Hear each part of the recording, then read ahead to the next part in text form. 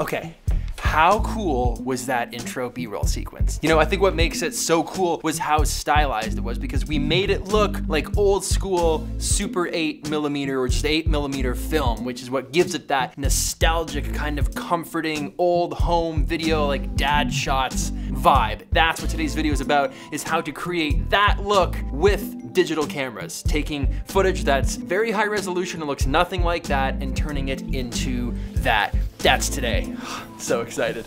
Okay, so what's funny about this style, this Super 8 old school nostalgic filmic look, is that it's kind of coming back into style. You can see Instagram doing it with their stories when you can add and you can apply that VCR look to your, you know, the stuff that you're putting on Instagram stories. You have Instax cameras and Polaroid cameras and that vintage feel, that old Super 8 millimeter look is actually coming back. It's in style now. So the question is now, how do we get that look with the cameras that we have? And it starts in camera. You're gonna wanna open up your camera and change your picture profiles straight off. We wanna kill that sharpness and we wanna kill that contrast almost completely because that is one of the big things that's making the footage that we shoot these days not look like it used to back in the day.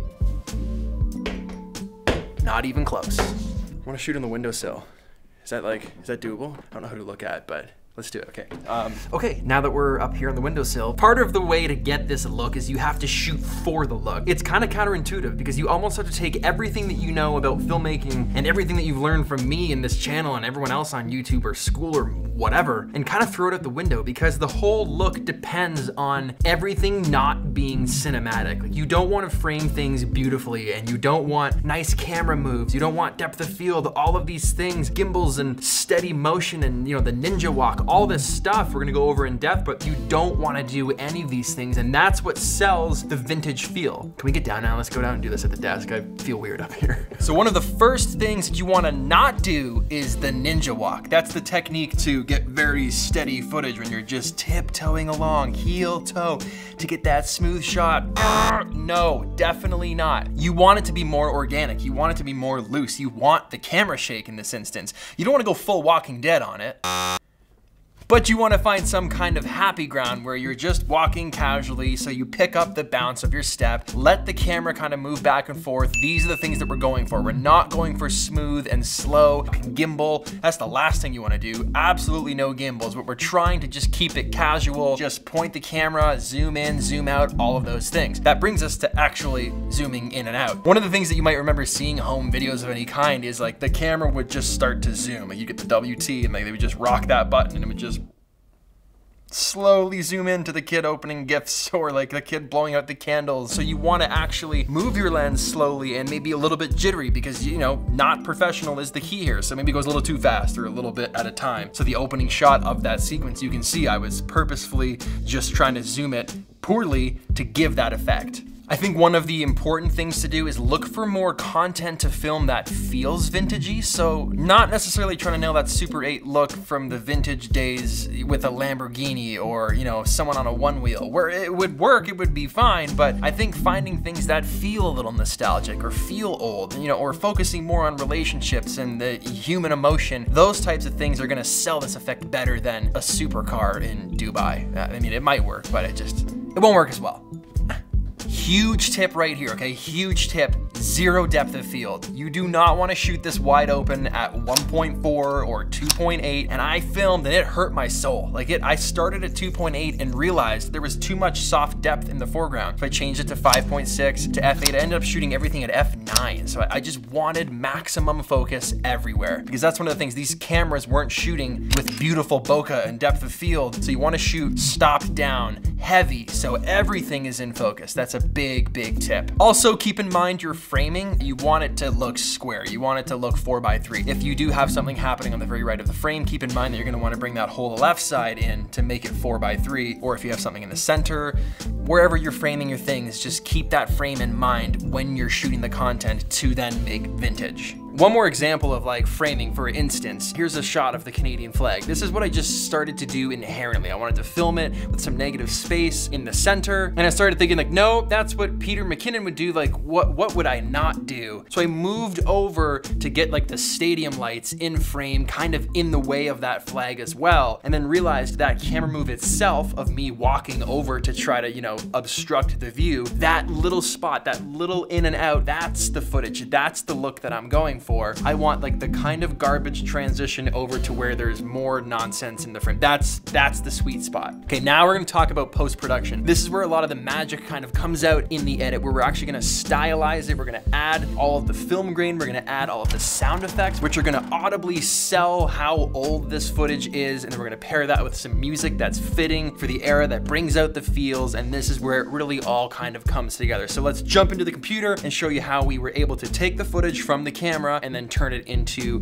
what it looks like now. Here's how to do that. Okay, first thing you're gonna do is drag in the footage that you have. So we're gonna start with this shot that I got actually filming out the window at the office here. First thing we're gonna do is drag it onto the timeline. Then we're gonna create an adjustment layer to drop above it. You're gonna right click, hit new item, then go over to adjustment layer. That drops it into your project panel here, and then just drag it onto your timeline and extend it out to match the length of your clip. Now head back over to your effects panel. You're going to go to your favorites, which I've already got some of these listed here, but if you don't, you can type crop into the search bar up top and it'll show up. Grab that crop effect and drag it onto the adjustment layer. Your left and your right, you're gonna crop them both by about 13% just to give you that four by three aspect ratio. All right, and now it kind of looks something like this if we just let it play which looks already a little more uh, Super 8 millimeter. Okay, now we need to find some film grain and effects and sound effects. Now, luckily, I actually just before I went and made all of this myself, I did a quick Google for Super 8 millimeter free film effects and found this blog called Beach Production or Beach B-roll. There's a YouTube video for it below that I linked and it was free and I was able to just download it and apply that as an overlay over top of all this footage if you didn't want to go ahead and create it yourself. I'm going to overlay that on the footage here and I'm going to create some extra effects myself so it's just like one big punch bowl of vintageness, okay? Drag that clip once you've downloaded it or whatever overlays that you have if you bought them from a different stock site like Adobe Stock or Storyblocks or any of those places. This isn't sponsored, but all of those places have stuff like this too. All right, once that footage is on your timeline, you can go over to your effect controls and actually change the blending mode to either overlay or soft light, whatever looks better for the footage that you shot. Looking good. Now let's play that back. Already looks kind of, this is great. Okay, let's keep going with uh, some color grading. So let's add a Lumetri color tab to this effect. And that's where we're just gonna mess around with uh, the creative tab. If you drop that down, you can see faded film. You can see things like sharpen. We're gonna actually lower the sharpen even more. And then we're gonna mess around with the vibrance just to make this, you know, as vintage as possible. Obviously this part is completely, it's gonna be your style, what you think looks good. It kind of, there's no wrong way to do it here. I'm just adding a little bit of colors in the shadows I'm adding a little bit to the highlights. I want to add a little bit of blue to the shadows because it was a snowy day outside. So that's what we've done with these color wheels here. Now I'm gonna add an effect called noise, which is gonna give me even more grains. We're just gonna drag that onto the clip and then maybe boost that up to like, hmm, I don't know, something like uh, 15 or 13%. You don't wanna go too hard or it looks like you actually have a beach on top of your footage, but 13% would do the job. Then let's add posterize time. Now what that's gonna do is allow us to actually cut some frames out of this because we shot it at 24p, but we can actually make this 18 frames a second, which is gonna skip more frames and make it look even more just garbage and vintage. That's what we want, right? That's the whole point for this. So check out when we change that little dialog box over here on the left side frame rate, we make it 18. Now when we play the footage back, with the overlays, with the grain, with the posterized time, it's just got that feel. It's got that feel.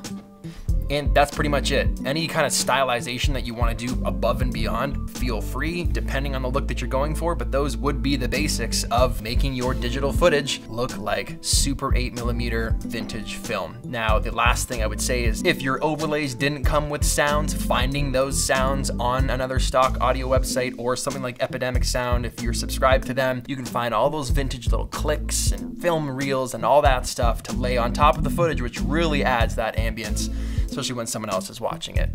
Boom! And there you have it, implementing all of those steps both in what you do before you shoot, what you do during the shoot, what you do in post-production, the music, the sound, all of those things encompassed together gives you a really cool super 8 millimeter looking vintage vibe. Now you might be asking like, why do I wanna even do this? I'm not sure where I would even use this type of effect in my videos. And I think it's good when you're trying to recall the past. So if you remember the bucket shot at the very beginning, we used a bunch of these types of features, not so dated because I shot it on high eight and it wasn't that far back, but we did use like the record and stop and fast forward and we did put film grain. So I think it's good when you're trying to show the past or it's a flashback, something like that. Implementing this technique is gonna be really, really great and helpful and stylized. Now, it's also a cool technique if you wanted to shoot a wedding or make like a really special video for somebody that just there's something about it that recalls nostalgia and it recalls emotion and it makes you feel something a little more than today's cinematic, impactful, drone shot 8K videos do. And those are good and they have their place, but there's just something cool about being able to recreate the past uh, with what we have now. So you can kind of throw it in wherever you want. I just figured you would enjoy learning how to do that technique because again, like I've said before, having that extra tool in your toolkit is just gonna make you more valuable as a filmmaker. And the end of the it's fun. It was so much fun to just go shoot this and just be silly and get the camera up in my face and hang off a basketball net and do a bunch of things I would never do for B-roll. And watching it back, I just thought that was that was great. So I hope you guys have fun with it. That is how to make your digital footage look like Super 8 film, faking the vintage vibe. That's it for today. Hope you guys enjoyed it. Hit that like button if you like this video, smash it if that's something that you're into, hit the bell so you actually get notified when I upload videos because YouTube doesn't do the best job of doing that. So subscribe, hit the bell, like, all of those things. And thank you so much for watching. I will see you in the next video. See you later. Intro. Then I'm gonna ride in on my one wheel. Oh, fully dented the fridge. Look at that. Boom, right there. You see that?